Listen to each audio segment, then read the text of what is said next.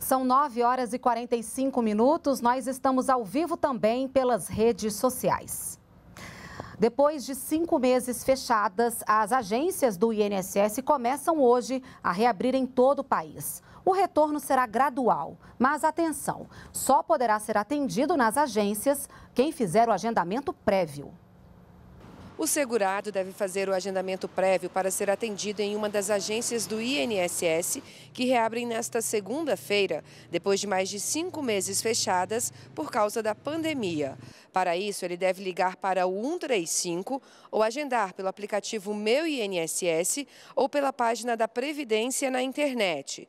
Para evitar aglomerações, quem não tiver horário marcado não será atendido. Somente adentrarão as agências as pessoas com agendamento, isso é fundamental. Portanto, deixo aqui um apelo aos segurados do INSS e aqueles que procuram as agências, que não, que não se desloquem até as agências sem que tenham feito o agendamento. Isso é fundamental, isso é uma medida de, de segurança o INSS possui 1.600 agências no país, mas nem todas vão abrir.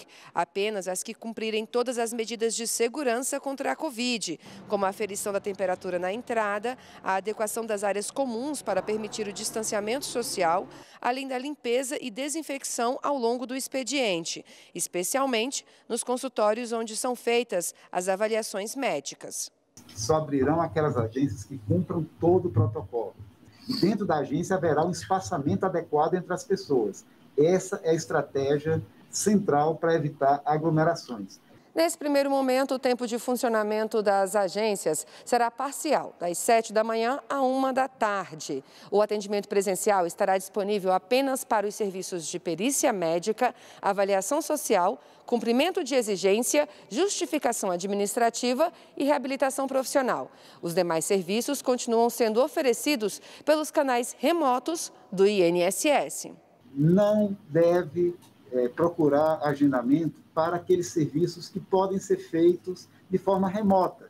Por exemplo, uma aposentadoria, uma pensão, salário maternidade, esses serviços, eles continuam sendo feitos remotamente, apenas aqueles serviços, nesse primeiro momento, que não podem ser feitos remotamente ou que têm limitações para serem feitos remotamente, como é o caso da exigência, é que serão feitos presencialmente. E o Tribunal Regional Federal da Terceira Região suspendeu a reabertura das agências do INSS e trabalho presencial em São Paulo.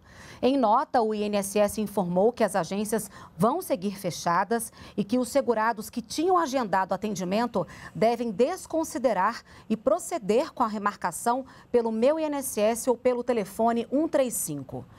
De acordo com o INSS, a lista de agências que já foram reabertas vai ser informada no do agendamento presencial. Lembrando que as informações podem ser obtidas pelo aplicativo Meu INSS ou pela central de atendimento 135.